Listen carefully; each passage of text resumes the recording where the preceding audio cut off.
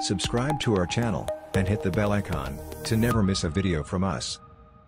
Hi everyone, welcome to Test Prep Training. In this video you will learn about some commonly asked questions in Google Professional Cloud Developer. So let's get started. Question number 1. You want to upload files from an on-premises virtual machine to Google Cloud Storage as part of a data migration. These files will be consumed by Cloud Dataproc Hadoop cluster in a GCP environment. Your options are The correct answer is, option A. Question number 2. You migrated your applications to Google Cloud Platform and kept your existing monitoring platform. You now find that your notification system is too slow for time-critical problems. What should you do? Your options are A. Replace your entire monitoring platform with Stackdriver. B. Install the Stackdriver agents on your Compute Engine instances. C. Use Stackdriver to capture and alert on logs, then ship them to your existing platform. D. Migrate some traffic back to your old platform and perform AB testing on the two platforms concurrently. The correct answer is, option B. Question number 3. You are planning to migrate a MySQL database to the Managed Cloud SQL database for Google Cloud. You have Compute Engine virtual machine instances that will connect with this Cloud SQL instance. You do not want to whitelist IPs for the Compute Engine instances to be able to access Cloud SQL. What should you do? Your options are A. Enable private IP for the Cloud SQL instance. B. Whitelist a project to access Cloud SQL, and add Compute Engine instances in the whitelisted project. C. Create a role in Cloud SQL that allows access to the database from external instances, and assign a Compute Engine instances to that role. D. Create a Cloud SQL instance on one project. Create Compute Engine instances in a different project. Create a VPN between these two projects to allow internal access to Cloud SQL. The correct answer is, option C. Question number 4. Your website is deployed on Compute Engine. Your marketing team wants to test conversion rates between three different website designs. Which approach should you use? Your options are a. Deploy the website on App Engine and use traffic splitting. B. Deploy the website on App Engine as three separate services. C. Deploy the website on Cloud Functions and use traffic splitting. D. Deploy the website on Cloud Functions as three separate functions. The correct answer is, option A. Question number 5. You are deploying your application to a Compute Engine virtual machine instance, with the Stackdriver monitoring agent installed.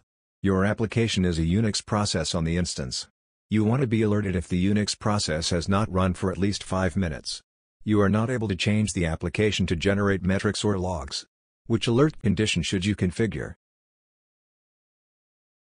Your options are A. Uptime check B. Process health C. Metric absence D. Metric threshold The correct answer is, option B. Question number 6. You have two tables in an ANSI SQL compliant database with identical columns that you need to quickly combine into a single table, removing duplicate rows from the result set. What should you do? Your options are A. Use the join operator in SQL to combine the tables. B. Use nested with statements to combine the tables. C. Use the union operator in SQL to combine the tables. D. Use the union all operator in SQL to combine the tables.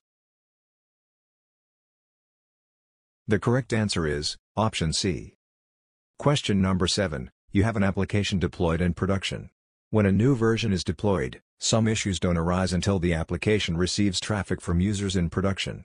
You want to reduce both the impact and the number of users affected. Which deployment strategy should you use? Your options are A. Blue or green deployment B. Canary deployment C. Rolling deployment D. Recreate deployment.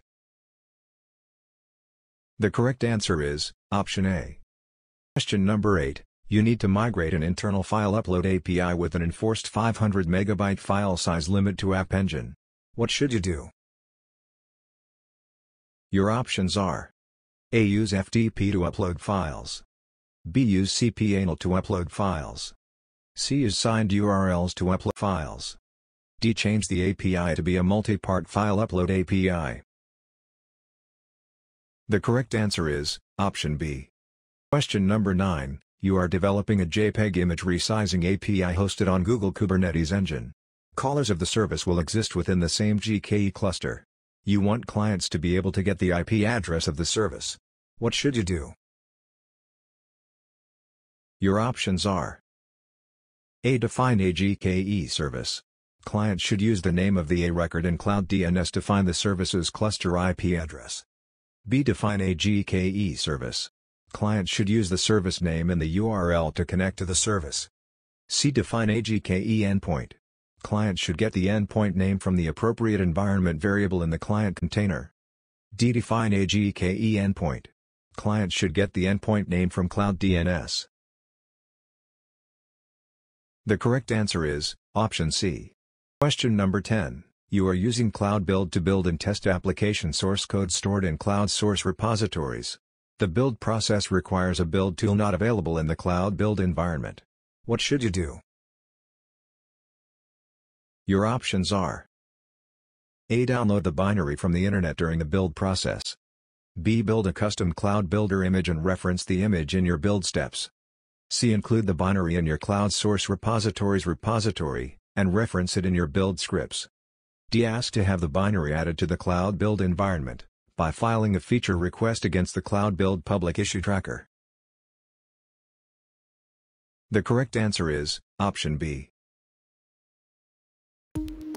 For more such videos, subscribe to our channel.